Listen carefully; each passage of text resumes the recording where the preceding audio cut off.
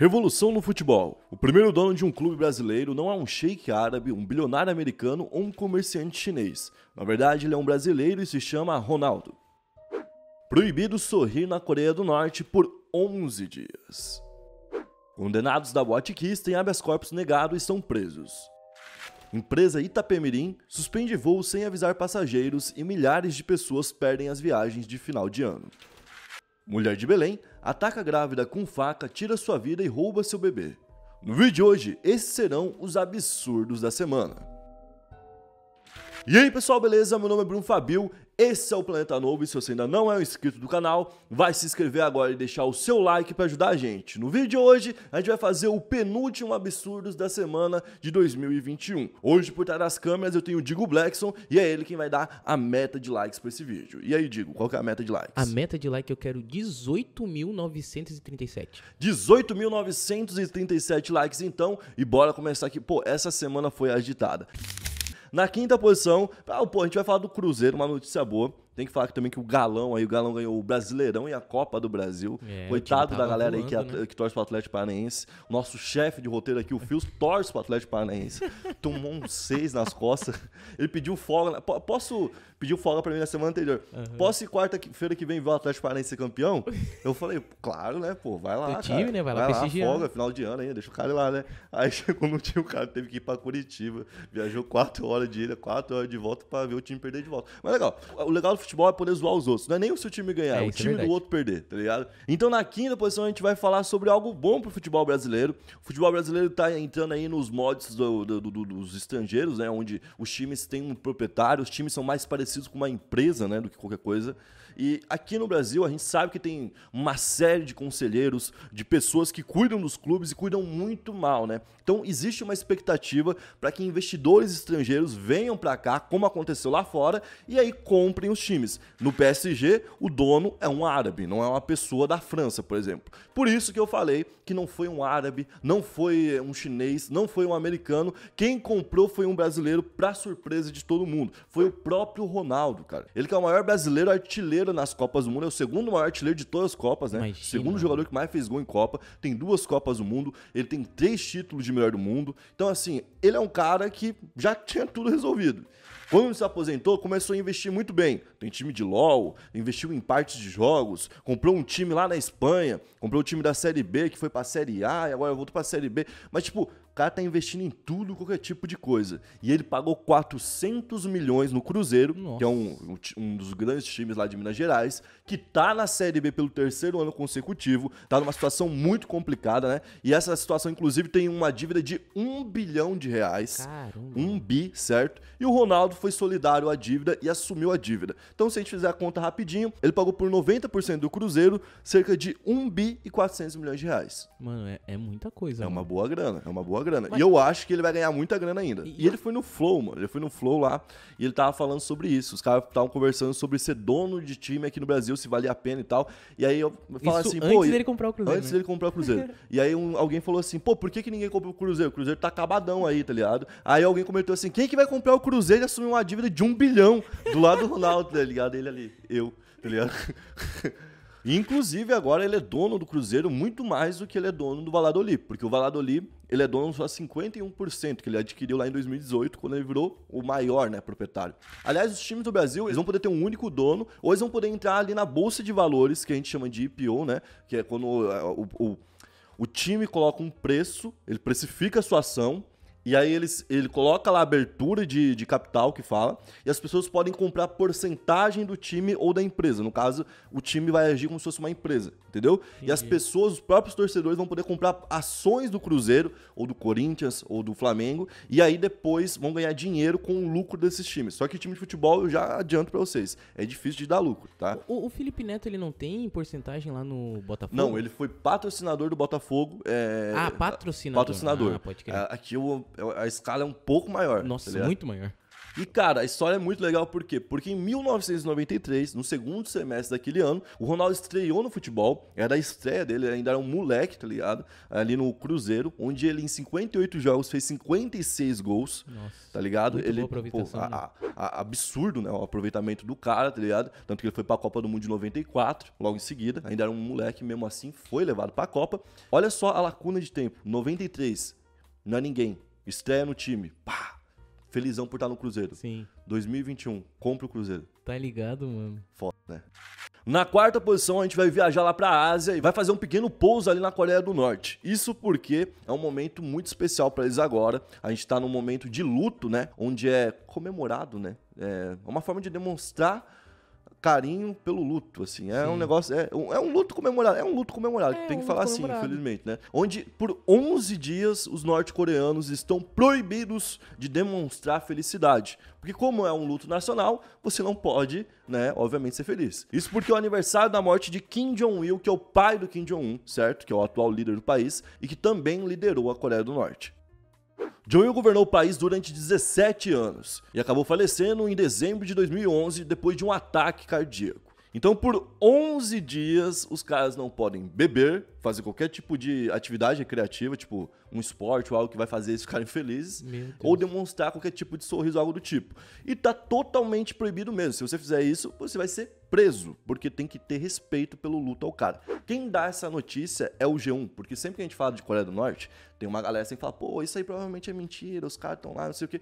Quem deu a notícia foi o G1. O G1 tende a ser o jornal mais confiável aqui do Brasil. Então, por isso que eu tô passando a notícia. Se fosse em qualquer jornal É. ou qualquer blogzinho, eu não teria falado aqui. Eu até me choquei também. Você ser proibido de sorrir é realmente um negócio assustador e absurdo. Mano, eu fico pensando nos, nos caras engraçadinhos, tá ligado? Que faz uma deve ter esses piadinha. caras lá na Coreia do Norte. Será? Claro que não. Ah, eu acho na que tem Coreia do Norte? No Iraque, imagina o cara engraçadinho na Coreia.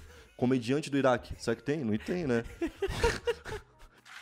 Na terceira posição, a gente vai falar da Boate Kiss. Inclusive, vai lembrar que na próxima semana a gente vai ter um vídeo do caso saindo aqui no canal, certo? Pra relembrar como a história foi acontecendo. E os quatro condenados que tinham conseguido um habeas corpus tiveram o habeas corpus negado pelo ministro do STF, Dias Toffoli, certo? E isso porque ele viu que a sentença recebida passava dos 15 anos, que seria o piso ali. né? Tem um negócio que se eles recebessem menos de 15 anos, eles podiam responder em liberdade muito mais facilmente. Acima dos 15 anos, é muito difícil, tá ligado?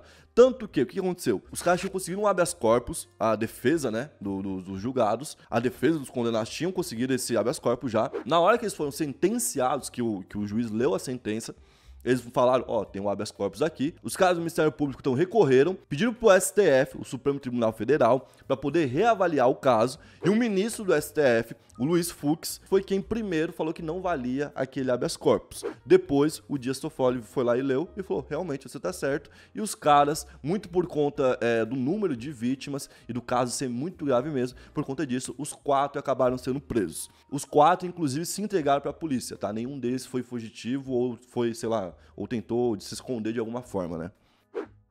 Na segunda posição, a gente vai falar da empresa Itapemirim, que suspendeu as operações no final do ano do nada. A Itapemirim, que é de transportes aéreos agora, mas ela é muito conhecida por conta da, da linha de ônibus, né? Ela já trabalhava com ônibus e agora foi trabalhar com aviões.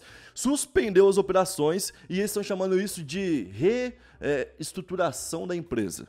Como assim? Reestruturação da empresa com a empresa fechando e o Do dono nada. fugindo com o dinheiro de todo mundo. Vamos botar aqui no português claro, jogar no bigode aqui, galera. O que aconteceu? Imagina que você tem uma dívida de tipo assim: você tem uma dívida de 10 mil reais.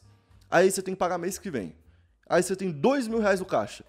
O que, que você faz? Você espera chegar a dívida e dá os 2 mil reais, fica devendo 8 mil e fecha a empresa. Ou então você saca os 2 mil e sai antes. Você entendeu? Foi basicamente Tá isso que o cara fez. o Só que cara o cara fez isso com esperto. 6 bilhões de reais e foi pra Londres. O dono Nossa. da Itapemirim. É isso basicamente que aconteceu. Se você tem viagem marcada pela empresa, não vai ter voo para esse fim de ano. Esqueça, a empresa não existe mais. É que- Basicamente foi isso. As pessoas chegaram lá no, no aeroporto, chegaram a despachar a mala. Imagina. Quando você pega a mala e coloca para ir pro avião já, né? Sim. Tiveram algumas que, inclusive, entraram no avião, Meu certo? Estavam no avião, o avião tava taxiando, que é quando o avião estaciona para ficar na posição certa para poder decolar. E quando ele tava só esperando ali a hora certa de decolar, opa, empresa não existe mais, galera. Vamos para casa, que isso aqui acabou. Acabou. Aí o piloto, ó, atenção passageiros, a gente não existe mais. a gente ri, mano, mas imagina, mano. Caralho, eu ia ficar muito puto, mano. Muito puto. Ô, e tipo, Fabio, e, cara, e a gente ainda, a gente ainda tem a condição de ir lá e comprar uma outra passagem. Agora imagina quem tá, tipo assim, há muito tempo juntando Esperando, grana, né? comprou a passagem e agora não vai poder fazer a viagem. Olha que doideira. Segundo o Código do Consumidor, que defende o consumidor, eles são obrigados a oferecer hospedagem e transporte para as pessoas, É, é ou então devolver o dinheiro, certo? Para todos os passageiros. E quem decide o que quer é o próprio passageiro, certo? Então agora a empresa, obviamente, vai entrar no pau de um jeito muito grande. Isso porque são mais de 500 voos, certo? São mais de 500 voos cancelados. Cara. Cada voo pode ter quase 200 pessoas. Então faz as contas aí. Meu é gente Deus. pra caramba. A gente tá falando de uma casa ali que passa das dezenas de milhares de pessoas que foram afetadas. Então, isso vai dar um BO do caramba. A gente tava lá no, no aeroporto, inclusive nesse dia que deu esse surto. O aeroporto tava socado de um jeito que eu não tinha entendido por quê. Mas tava muito socado. Por quê? Provavelmente a galera já tava chegando E e não não, tava vinha podendo os. Uhum. aviões, não vinha os voos. Então os caras estavam lá esperando o dia inteiro. Então tinha gente, eu fui viajar já era de noite. Então o que aconteceu? As pessoas do dia inteiro deviam estar lá esperando o voo e não tinha tido.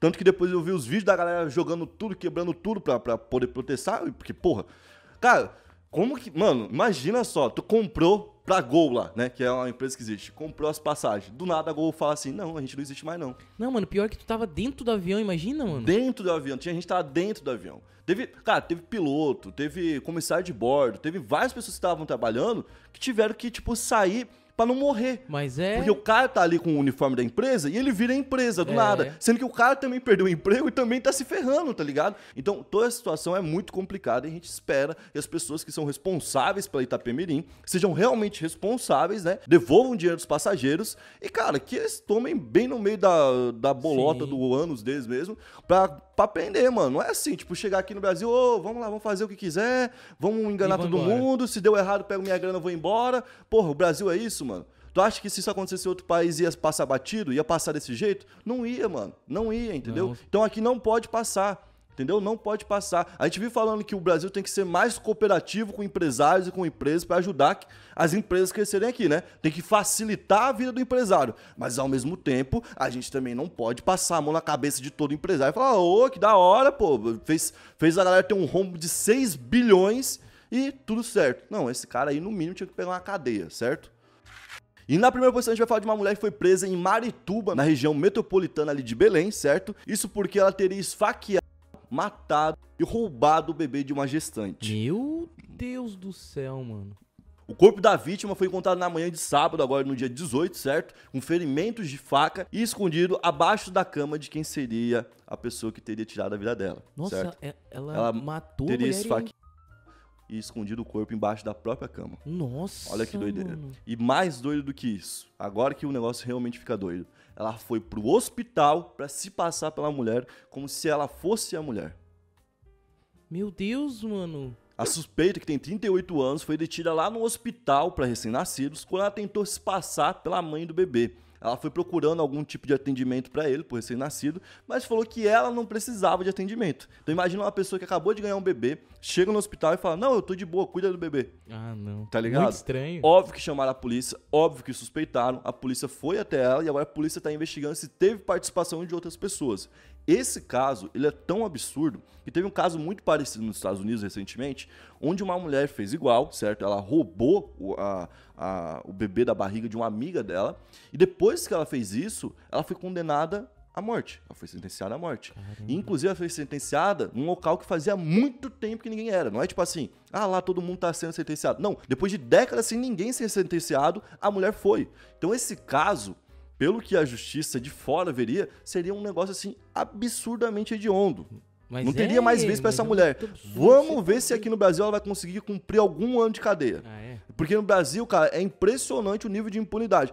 Tem que ter punição, cara. Pelo amor de Deus, como. Entendeu? Mano, tem que ter punição, porque senão as pessoas começam a ter Pra coragem ficar de, de fazer exemplo. isso. É, tem que ficar de exemplo. É. Como é que a pessoa vai fazer isso e vai estar solta daqui cinco anos? Daqui cinco anos é o caralho, tem que estar preso lá pro resto da vida. Uma pessoa que faz um negócio desse tem que passar o resto da vida na cadeia mesmo. Você entende? É isso, gente. Infelizmente é isso, tá ligado? Não dá pra ficar passando a mão, não. Cabeça de gente que, tipo, não, não, não pensa em ninguém. A pessoa que faz isso, pensa em alguém. Não, você tá doido, Não mano. pensa em Ela ninguém. tirou o bebê de dentro da barriga da mulher, mano. Você entende o nível de desrespeito? Cê tá doido, mano. O, o- o nível? Então, vamos ver o que, que vai acontecer agora, né? Bom, esse foi o vídeo de hoje, espero que você tenha gostado. Se você gostou, deixa seu like, se inscreve no canal, ativa a notificação e daqui pro final do ano a gente vai ter muito vídeo especial. A gente vai ter aí os absurdos de 2021, a retrospectiva do ano, certo? E a gente vai ter mais vídeos especiais, como por exemplo a história de Jesus Cristo. Então fica ligadinho aí no Planeta Novo, porque ainda tem muito conteúdo pela frente esse ano. Valeu, é nóis!